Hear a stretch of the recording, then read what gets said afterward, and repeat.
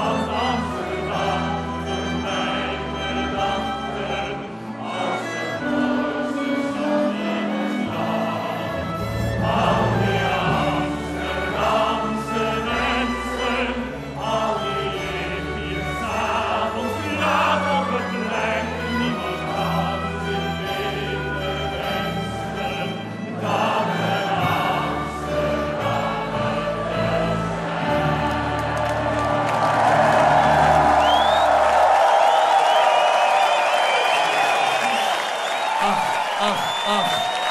Het is alweer voorbij. Dit was het Prinsengracht 2019, het Prinsengracht Concert 2019. Met Pekka Kuzisto, Raoul Stefani en Camerata RCO. Maar we gaan in de herkansing, want ik zeg tot volgend jaar.